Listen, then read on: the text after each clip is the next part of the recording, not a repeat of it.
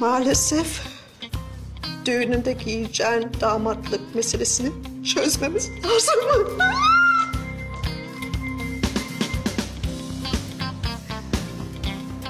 Tuval iyi misin?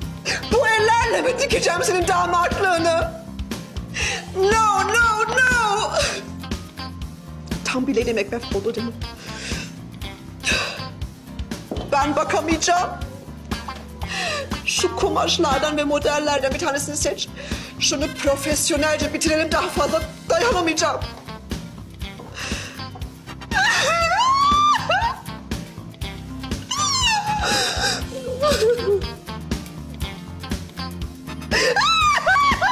Seç! Seç!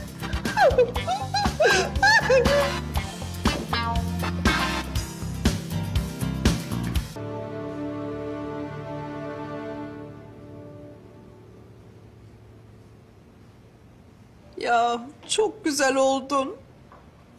Aslan gibi oldun. Damatlık sana çok yakışıyor. Allah kahretsin. Tamam artık ağlama yeter.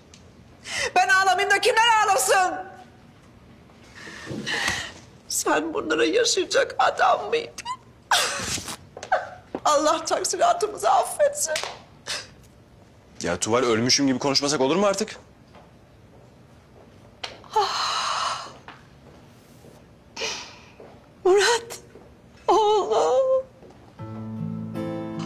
Geldin Azime Sultan.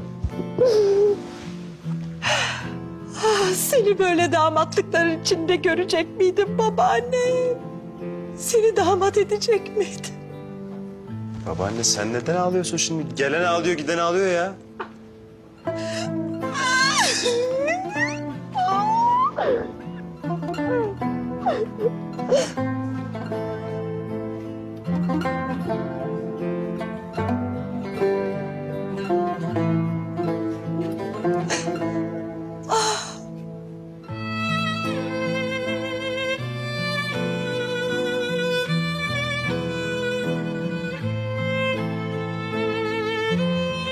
Sen de mi buradaydın güzel kızım? Edepli, akıllı, güzel kızım benim. Ah, gel sana sarılayım son defa.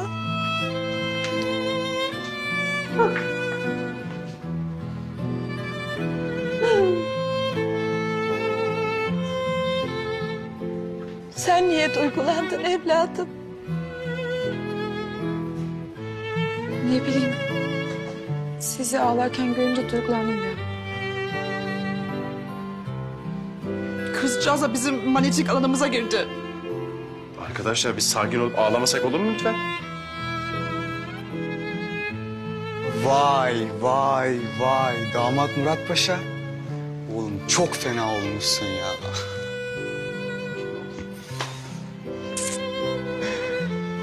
ya galiba ben de ağlayacağım şimdi.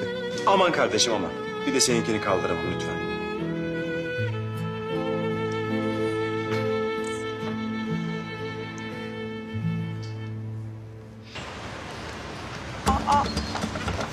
Didem Hanım hamile misiniz? Neden bebek mağazasındaydınız efendim? Murat Bey ile ilişkiniz bitmişti. Sizinle çocuk için evlendiğine dair dedikodular var. Ne diyorsunuz? Ne alakası var ya Allah Allah. Sen de çekme ya. Burnum büyük çıkıyor benim yakından.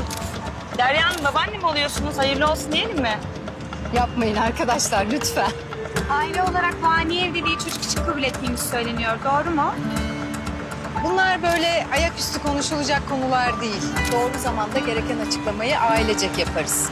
Şimdi izninizle Didem Hanım'ı çok yormayalım olur mu? Lütfen. Neden yormayalım? Kabul ediyorsunuz yani hamile olduğunu.